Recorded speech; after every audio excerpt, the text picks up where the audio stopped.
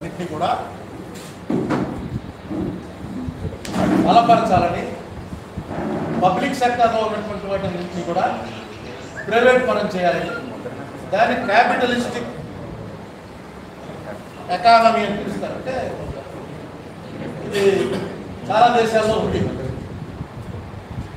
ఎక్కడైతే నా ఉద్దేశం ప్రకారం ఎక్కడైతే ఎక్కువ జనాభా ఆ class upper middle class rich క్లాస్లోకి వస్తారో అక్కడ ఇలాంటి సక్సెస్ అవుతాయి.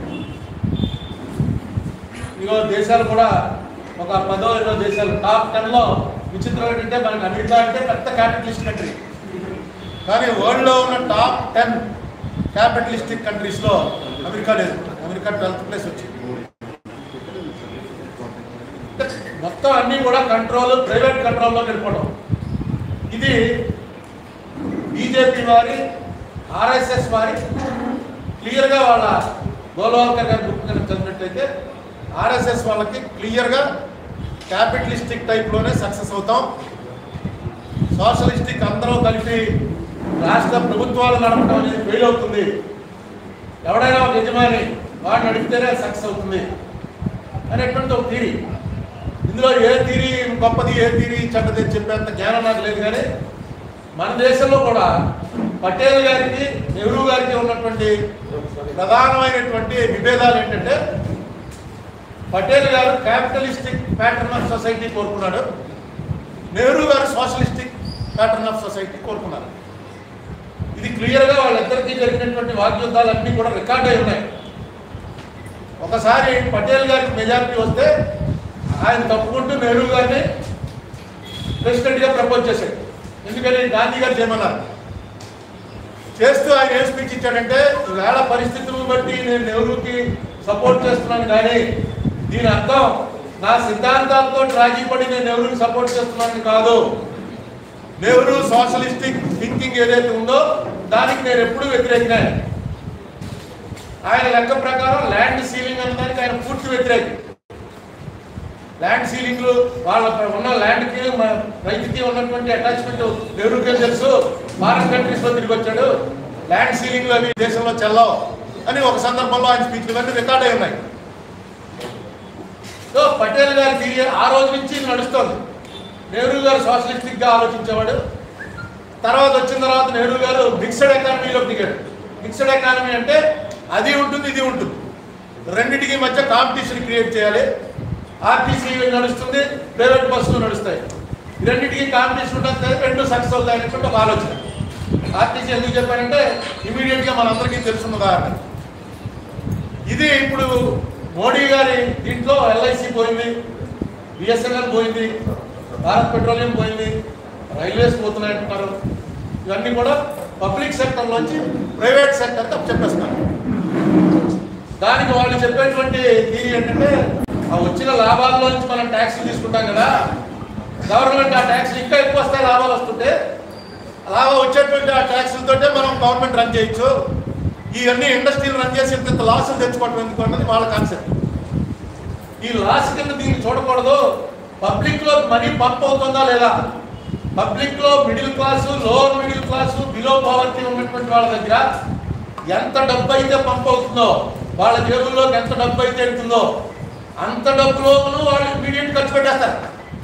ఆ ఖర్చు పెట్టిన ప్రతి రూపాయలోనూ ట్యాక్స్ వస్తుంది. ఆ ట్యాక్స్ మళ్ళీ రొటేషన్ అవుతుంది. అందుకని ఎకానమీ దృష్టిలో చూసినట్టయితే మనం ఈ ఆలోచన క్యాపిటలిస్టిక్ ఆలోచన తప్పు అనేది సోషలిస్ట్ ఆలోచన. సరే ఇప్పుడు ఉన్నటువంటి గవర్నమెంట్ వారికి క్యాపిటలిస్టిక్ ఆలోచన. అందుకని వాళ్ళు లాభాల్లో నడుస్తున్నవా నష్టాల్లో నడుస్తున్నవా అని కాదు. వ్యాపారం చేయడానికి కాదు ప్రభుత్వం ఉన్నది. ప్రభుత్వం ఎందుకు చేయాలి వ్యాపారాలు? వ్యాపారాలు వ్యాపారస్తులు చేసుకుంటారు. అనేటువంటి ఆలోచన వెళ్ళదు ఆ ఆలోచనలో భాగంగా ఎందుకంటే స్టీల్ ప్లాంట్ అమ్మేవలసినంత లాసుల్లో ఏం లేదు. ఈ లాసులు స్టార్ట్ అయింది కూడా రెండు వేల పదిహేను నుంచే. రెండు వేల రెండులో వాజ్పేయి గారి టైం నుంచి రెండు వేల పద్నాలుగులో మన్మోహన్ సింగ్ గారు దిగిపోయే వరకు స్టీల్ ప్లాంట్ ప్రాఫిట్స్లో రన్ అయింది. పదిహేను నుంచి ప్రపంచవ్యాప్తంగా నిన్న జగన్మోహన్ రెడ్డి గారు రాసినటువంటి లెటర్లో క్లియర్గా రాశాడు అది. ప్రపంచవ్యాప్తంగా డౌన్ అయిపోయినటువంటి స్టీల్ మార్కెట్లో దాని ప్రభావం వల్ల రెండు వేల పదిహేను నుంచి ఇక్కడ కూడా డౌన్ అయింది. ఇంకొక ప్రధానమైన కారణం ఏంటంటే ఒక అంత పెద్ద స్టీల్ ఫ్యాక్టరీ కట్టినప్పుడు దానికి అతి ప్రధానమైనది రా మెటీరియల్ ముడి ఇనుము. ఆ ముడి ఇనుముకి దీనికి కనుక ఒక మైన్ ఇచ్చుంటే వాళ్ళు ముడి ఇనుము కొనుక్కోవాల్సిన పని లేకుండా అక్కడి నుంచి తెచ్చి దాన్ని ఉప్పు కింద మారుతులు అప్పుడు చౌకలో పండు ఇప్పుడు వీళ్ళు ముడి ఇనుము దొరక్క బజార్లో కొనుక్కోవడంతో ఆ రేట్లు పెరిగిన కొద్దీ ఇక్కడ వీళ్ళకి లాభాలు తగ్గుతూ ఉంటాయి. బయలాడీలలో బెస్ట్ ఇనుము దొరుకుతుంది. అవన్నీ కూడా ప్రభుత్వానివే కేంద్ర ప్రభుత్వ కంట్రోల్లో ఉన్నాయా రాష్ట్ర ప్రభుత్వ కంట్రోల్లో ఉన్నాయా నాకు అంత కరెక్ట్గా తెలియదు కానీ బయలాడేలలో ఎక్కువ ఎన్ఎండిసి అని ఉంది. నేషనల్ మినరల్ డెవలప్మెంట్ కార్పొరేషన్ వాళ్ళ అధీనంలో అంటే సెంట్రల్ గవర్నమెంట్ అధీనంలోనే ఉన్నాయి. వాళ్ళ దగ్గర నుంచి అక్కడ ఫెర్రస్ అని ఏదైతే ఉంటుందో దాని ఎక్కువ శాతం ఉంటే మంచిదన్నమాట మంచి క్వాలిటీ ఆ క్వాలిటీ ఉన్నటువంటి మైన్స్ బయలాడేలలో ఉన్నాయి. అవి ఈ స్టీల్ ప్లాంట్కి దఖలుపరిచినట్లయితే స్టీల్ ప్లాంట్ ప్రాఫిట్లోకి రావడం పెద్ద కష్టంగా నెక్స్ట్ ఇయర్ నుంచే ప్రాఫిట్లోకి వస్తుంది. ఎంచేతో నా కారణాలు తెలియదు కానీ నేను ఎంపీగా ఉన్న పది సంవత్సరాల్లో కూడా అనేక సార్లు ఒక మైన్ ఇప్పించండి స్టీల్ ప్లాంట్కి మైన్ ఇప్పించండి అని మేము వెళ్ళి గవర్నమెంట్ అడగటం ఇక్కడి నుంచి సీఎండి ఈ ఆఫీసర్లు అంతా రావటం నేను కూడా రెండు మూడు మీటింగ్లోకి వెళ్ళాను. వెళ్ళి ఎంచేత మరి అది అప్పుడు వర్కౌట్ అవ్వాలి. బహుశా నేను అనుకునేది ఏంటంటే అప్పటికి స్టీల్ ప్లాంట్ లాభాల్లో నడుస్తాం. లాభాల్లో నడుస్తుండటం ఉండటం వల్ల ముడిని ఎక్కడ కొంటే మళ్ళీ వీళ్ళు మైనింగ్లోకి ఎందుకు వెళ్ళాలని ఆలోచన చేసి ఉండొచ్చు. ఏ కారణం వల్ల ఇప్పటి వరకు అది జరగాల? నిజంగా క్యాపిటలైజేషన్ థియరీలో కనుక మోడీ గారిని మార్చేయాలి అన్ని అమ్మేస్తున్నాం ఇవి అమ్మేస్తున్నాం అన్నట్లయితే దానికి చేయవలసినటువంటి ఫైట్ వేరు. క్యాపిటలిస్ట్ శక్తులు సోషలిస్ట్ శక్తుల మధ్య పోరాటం అది. స్టీల్ ప్లాంట్ ఈ స్టీల్ ప్లాంట్ లాసుల్లో ఉంది కాబట్టి ఇది అమ్మేస్తున్నాం అంటే అది హాస్యాస్పదం. లాసుల్లో ఉన్నవన్నీ అమ్మేయాలనుకుంటే కరోనా వచ్చిన తర్వాత ఈ దేశంలో కానీ ప్రపంచంలో ఏమీ ఉండదు అన్నీ అమ్మేయాలి. కరోనా వచ్చిన సంవత్సరంలో అన్ని లాసుల్లోకి వచ్చాయి. ఏవి ప్లాంట్లో లేవు. ఇప్పుడు ఇది స్టీల్ ప్లాంట్ లాస్లో కనుక అమ్మేస్తున్నాం అంటే మాత్రం అది కరెక్ట్ కాదు. ఒక ప్లాంట్ అసలు ముందు దాని మీద ఒక కమిటీ వేయాలి. ఆ కమిటీ వాళ్ళు ఎందుకు మూసేస్తున్నాం దాని మీద కారణాలు రావాలి. ఎందుకు అమ్మేస్తున్నాం అన్నది? ఇంతకు ముందు కూడా పది పంతొమ్మిది రెండు రెండు వేల పంతొమ్మిది. అంటే రెండేళ్ళ క్రితం ఒక పది రోజుల తేడా. రెండేళ్ళ క్రితం ఇదే గవర్నమెంట్ సేలంలో భద్రావతిలో దుర్గాపూర్లో. సేలం మెడ్రాస్ భద్రావతి కర్ణాటక దుర్గాపూర్ బెంగాల్. ఈ మూడు స్టీల్ ప్లాంట్ని మూసేసి అమ్మేస్తున్నాం. అని చెప్పి ప్రకటన చేశారు. అది పేపర్లో ఎప్పుడు వచ్చిందంటే February nineteen two thousand nineteen అంటే పద్దెనిమిదిలో పదిహేడులో రికమెండ్ చేసి ఉంటుంది కమిటీ కానీ ఆ మూడు అమ్మేసినట్టుగా ఇప్పటివరకు మరి ఎక్కడ నాకు దొరకదా న్యూస్. ఎందుకు అమ్మలేకపోయారో నాకు తెలియదు కానీ అమ్ముదామన్న ఆలోచన వచ్చి ఆ ఆలోచనని ప్రభుత్వం ప్రకటించి వెనక్కి వెళ్ళడం జరిగింది. ఈ స్టీల్ ప్లాంట్ విషయంలో కూడా ఖచ్చితంగా వెనక్కి వెళ్తారని నేను అనుకుంటున్నాను.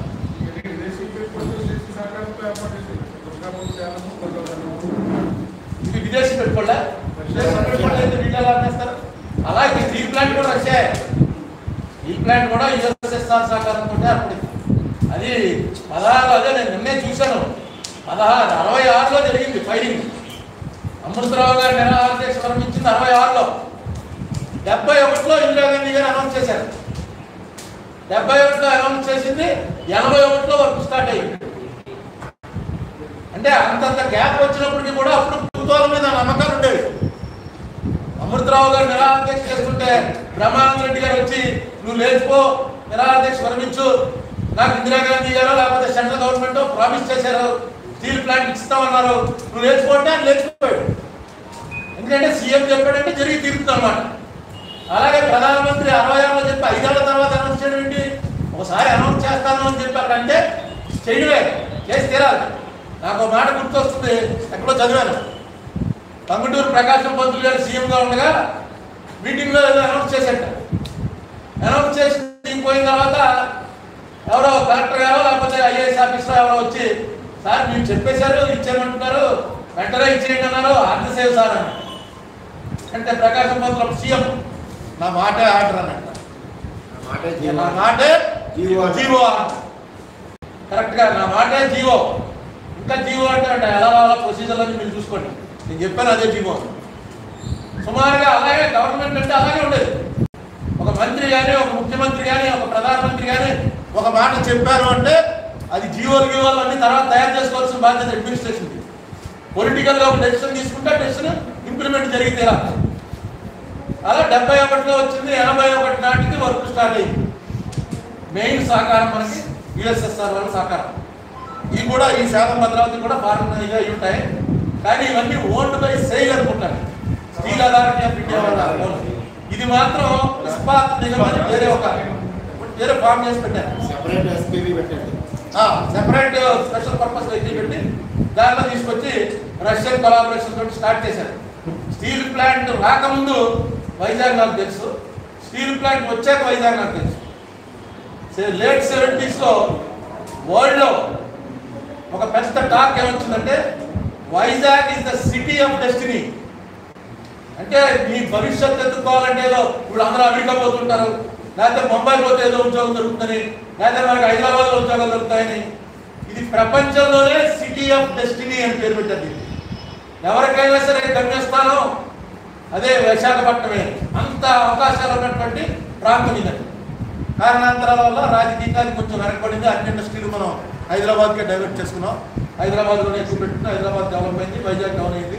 సరే ఇప్పుడు వైజాగ్ కూడా డెవలప్ చేసేటువంటి అవకాశం వచ్చి వైజాగ్ కూడా on par with any other city metropolitan city India అవుతుంది అనుకునేటువంటి సమయంలో ఇది చాలా ఒక పెరు తుఫాన్లా హీట్ ప్లాంట్ అమ్మేస్తారట.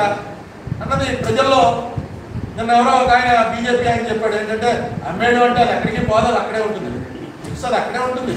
కానీ మన చేతిలో ఉంటుంది మన చేతిలో ఉంటే నీకు ఏమైనా స్టీల్ ప్లాంట్ కావాలో చిన్న మేకైనా ఉచితంగా దొరుకుతుందా?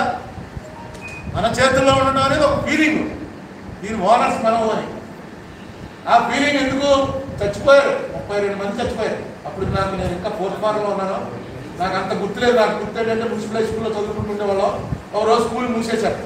కాలేజీ స్టూడెంట్స్ వచ్చి స్కూల్ కట్టించారు కట్టించేస్తే అందరూ ఓ అనుకుంటూ బయటకు వచ్చాం. బయట ఒక లారీ ఉంది. ఆ లారీ ఎక్కేసాం ఆ లారీ వాడు కాకినాడ వెళ్తున్నాడు. అప్పటికి ఇంకా ఈ రాజారాయణ రూట్ లేదనుకుంటారు.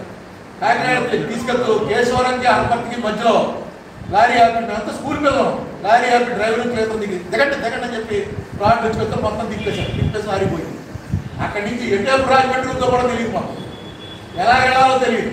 ఆ కేశవరం స్టేషన్లో కూర్చుని ఏదో మొత్తానికి తీరాం వేలగా గుర్తున్నది ఏంటంటే అది స్టీల్ ప్లాంట్ యాక్టేషన్ విశాఖ ఉక్కు ఆకులు ఆకులు నడుచుకుంటూ పోయాం. మళ్ళీ వెనక్కి వచ్చి నానా బాధలు పడి వెనక్కి వచ్చి ఇంట్లో తమ్ముడు తిరిగి ఇక్కడ చిన్నపిల్లలు అంతా కంగారు పడిపోయారు. ఎక్కడ పోయారని పెద్ద ఉద్యమం జరిగింది. ఆ ఉద్యమంలో కాల్పులు జరిగాయి. చాలా మంది చచ్చిపోయారు. అప్పుడు కానీ ప్రభుత్వం దిగి రాలేదు ప్రభుత్వం దిగి వచ్చి స్టీల్ ప్లాంట్ అనౌన్స్మెంట్ చేసే వరకు ఉద్యమం నడిచింది. అనౌన్స్మెంట్ చేశారు. దానికి కమిట్ కమిట్ అయ్యారు. ఇచ్చారు. తర్వాత one of the best steel plants ఎందుకంటే నవరత్నాల్లో చేర్చండి.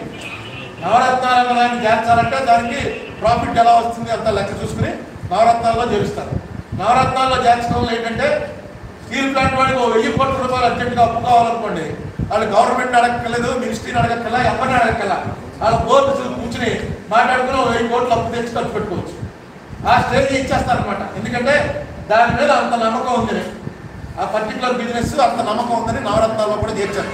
నవరత్నాల్లో చేర్చింది కూడా మేము ఎంపీగా ఉన్నప్పుడే చేర్చుకుంటున్నాం ఇది కాకుండా రెండు వేల ఆరులో మేలో రెండు వేల ఆరు మేలో మన్మోహన్ సింగ్ గారు వైజాగ్ వచ్చారు. Steel plant visit. Steel plant విజిట్కి వచ్చినప్పుడు నేను ట్రాన్స్లేట్ పబ్లిక్ మీటింగ్ పెట్టారు ఆ మీటింగ్లో ట్రాన్స్లేట్ ఉంది కాబట్టి నేను కూడా వెళ్ళాను. ఆ మీటింగ్లో ఆయన స్టీల్ ప్లాంట్ విజిట్ చేసి వచ్చిన తర్వాత స్టీల్ ప్లాంట్ని డెబ్బై లక్షల టన్నులకి పెంచాలి. అప్పటి వరకు అరవై లక్షల టన్నుల లోపు ఉండేది ప్రొడక్షన్ పర్ ఇయర్ డెబ్బై లక్షల టన్నులకి పెంచడానికి పద్నాలుగు వేల కోట్ల రూపాయలు ఇమీడియట్గా శాంక్షన్ చేసి రిలీజ్ చేసింది. ఆ మొట్టమొదటి ఆరు వేల కోట్లను రిలీజ్ చేశాడట. దాని తర్వాత దాని అంతా లెక్కలేస్తే ఆరు వేలు సరిపోదు పద్నాలుగు వేలు కావాలని చెప్పడం పద్నాలుగు వేల కోట్లు రిలీజ్ కూడా జరిగినట్టుగా నాకు బాగా మన్మోహన్ సింగ్ గారి టైంలోనే ఆయన ఫస్ట్ ఇలాంటి లాస్ వస్తువులు ఏవైతే ఉన్నాయో వాటిని ప్రాఫిట్లో పెట్టాలంటే ప్రైవేట్గా అప్పచెప్పేయాలనేటువంటి ఆలోచనని ఈ దేశంలో పివి నరసింహరావు గారి టైంలో స్టార్ట్ చేసిందే మన్మోహన్ సింగ్ గారు. మన్మోహన్ సింగ్ గారే పద్నాలుగు వేల కోట్ల రూపాయలు ఇచ్చి దీన్ని ఇంకా ఇంప్రూవ్ చేయాలని ఆలోచన చేశాడంటే యాజ్ అన్ ఎకనామిస్ట్ అది కరెక్ట్ ఆలోచన నేను అనుకుంటాను ఎకనామిస్టులు ఇచ్చినటువంటి ఆయన చాలా ప్రపంచంలోనే టాప్ టెన్ ఎకనామిస్టులో ఒక ఆయన. ఆయన వచ్చి పద్నాలుగు వేల కోట్లు శాంక్షన్ చేశాడంటే ఇది చాలా ఆలోచించి తీసుకున్నటువంటి నిర్ణయం. ఈవేళ ఆ నిర్ణయం నుంచి ప్రభుత్వం వెనక్కి వెళ్ళేటువంటి ప్రయత్నం చేస్తే దాన్ని అడ్డుకోవాల్సినటువంటి బాధ్యత అన్ని రాజకీయ పక్షాల ఉంది. అసలు యాక్చువల్గా నేను ఏమనుకున్నానంటే ఎల్లుండ అంటే పదో తారీఖు బుధవారం నాడు అఖిల పక్ష సమావేశాన్ని పెడదాం. పెట్టి ఎందుకంటే నేను ఏ పార్టీలో లేను కాబట్టి పిలిస్తే అందరూ వస్తారు. అఖిల పక్ష సమావేశం పెడదామని చెప్పి సోము వీర్రాజు గారికి ఫోన్ చేశాను. చేసి మీరు రావాలని నేను కోరాను. ఆయన ఒప్పుకున్నాడు. నాదెండ్ల మనోహర్ గారికి ఫోన్ చేశాను. ఆయన ఒప్పుకున్నాడు. సిపిఎం మధు గారికి సిపిఐ రామకృష్ణ గారికి ఫోన్ చేశాను. వాళ్ళిద్దరూ వెంటనే నువ్వు ఎప్పుడు పెడితే అప్పుడు వాళ్ళు కూడా ఒప్పుకున్నారు. ఇక ఫోన్ చేయవలసల్లా జగన్మోహన్ రెడ్డి గారికి చంద్రబాబు నాయుడు గారికి.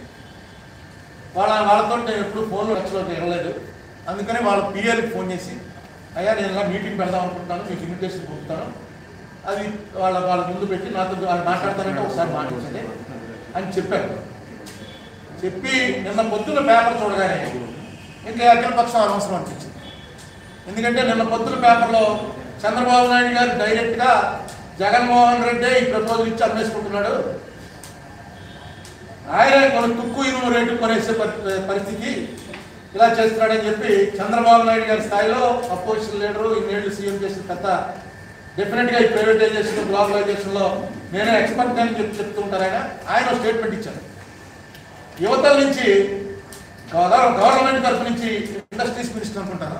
ఓ మినిస్టర్ గారు ఒక స్టేట్మెంట్ ఇచ్చాడు. ఒకవేళ అది అమ్మేస్తుంటే గౌతమ్ రెడ్డి గారు. ఒకవేళ అలాంటి ప్రయత్నం జరుగుతుంటే మేము కూడా పెట్టేస్తాం స్టేట్ గవర్నమెంటే కొనుక్కుంటాం చంద్రబాబు నాయుడు గారు ఇదేంటి ఎలా మాట్లాడాడు అనుకుంటే గౌతమ్ రెడ్డి గారు రెండు చూసుకుంటే ఏమో గౌతమ్ రెడ్డి గారు కొనుక్కుంటారన్నదానికే చంద్రబాబు నాయుడు గారు కౌంటర్ ఇచ్చాడేమో అని ఈ లోపల ముఖ్యమంత్రి గారి లెటర్ కూడా వచ్చేసింది. ఇందులో పెట్టేశారు వాట్సాప్లో పేపర్లో కూడా వచ్చేసింది. ముఖ్యమంత్రి గారి లెటర్లో మొత్తం దీని చరిత్ర అంతా ఇప్పుడు ఏం చెప్తుందే ఇంకా డీటెయిల్గా దీని చరిత్ర అంతా ఆయన రాసుకొచ్చి ఈ స్టీల్ ప్లాంట్ని ఇవ్వడం కరెక్ట్ కాదు ఇది ప్రజల సెంటిమెంట్తో ముడిపడి ఉంది అని చెప్పారు కానీ ఆయన ప్రారంభమే ఉత్తరం ప్రారంభమే నాకు అర్థం అలా ఎందుకంటే బడ్జెట్ రాగానే బడ్జెట్ మీద ఇక్కడ ఉన్నటువంటి వైసీపీ వాళ్ళు అందరూ కూడా ఇచ్చారు. ఏం బాగలేదు బడ్జెట్లో తీవ్రమైనటువంటి అన్యాయం జరిగింది ఈ బడ్జెట్ కరెక్ట్ కాదు కానీ ఆయన జ- జగన్మోహన్ రెడ్డి గారు మోడీ లెటర్ రాస్తూ first సెంటెన్సే at the outset I congratulate the government for presenting a transformative budget which could support the V shaped growth recovery we are witnessing post covid nineteen అంటే బడ్జెట్ చాలా బాగుంది. Covid nineteen తర్వాత V shape అంటే ఇలా పడిపోయిన development ఇలా పైకి లాగుతాం అనమాట వీ షేప్ గ్రోత్కి కరెక్ట్గా ప్లాన్ చేసి చేశారు మీరు. అందుకని మొట్టమొదటగా మేము మీకు అభినందనలు తెలియజేస్తున్నాను అంటూనే లెటర్ ప్రారంభించారు. ఏమో కేంద్రంతో పని ఉన్నప్పుడు పూర్వం లెటర్స్ వచ్చేది ఉభయ లోపలి. తాతగారు మన సాయంత్రం మరణించారు. బామ్మగారు ఆరోగ్యం అవ్వలేదు క్యాన్సర్ అంటున్నారు. అన్నీ బయటే ఉంటాయి. పైన మాత్రం ఉభయ లోపలి. ఇక్కడ ఆ రకంగా రాశాడేమో ఇది తెలియదు కానీ పైన ఫస్ట్ సెంటెన్స్ చాలా బాగుందండి అని చెప్పి అభినందిస్తూ రాశారు. ఇది కూడా చాలా కరెక్ట్ కాదు. ఎందుకంటే ఒక ప్రభుత్వం ఒక ముఖ్యమంత్రి ఒక ప్రధానమంత్రికి రాస్తున్నప్పుడు మన అభిప్రాయం అనవసరం ఇది అసలు రాయటం మన అభిప్రాయాలు దాని మీద క్లియర్గా స్టీల్ ప్లాంట్ గురించి రాసినప్పుడు స్టీల్ ప్లాంట్ మీద అభిప్రాయం క్లియర్గా చెప్పాల్సిందే మిగతా లెటర్ అంతా ఆయన స్టాటిస్టిక్స్ అన్నీ ఇచ్చారు. అన్నీ నాకు తెలిసి ఆ లెటర్ వల్ల పెర్ఫెక్ట్ ఉండదు. మామూలుగా తీసి పక్కన పెడతారు. మనం చేయవలసింది అన్ని పార్టీలు కనుక వస్తే నేను ఏమంటున్నానంటే అన్ని పార్టీలు కలిపి ఒక కార్యాచరణ రూపొందించి దీనికి ఉన్నటువంటి ఆప్షన్స్. దీనికి ఇమీడియట్ ఆప్షన్ మనం కోరుకోవాల్సింది మనం కోరేది ఏంటంటే మైండ్ కేటాయించండి. ఒక క్యాప్టివ్ మైండ్ క్యాప్టివ్ మైండ్ అంటే కేవలం అక్కడ తీసినటువంటి ఉక్కు మళ్ళీ స్టీల్ ప్లాంట్ వాళ్ళు బయట అమ్ముకోవడానికి కుదరదు. ఈ స్టీల్ ప్లాంట్కి కావాల్సినటువంటి సరుకు మాత్రమే అక్కడ ఉత్పత్తి చేసుకుని అక్కడి నుంచి తెచ్చుకుని వీళ్ళు స్టీల్ తయారు చేసుకుంటాం వీడి కండిషన్స్ ఆ?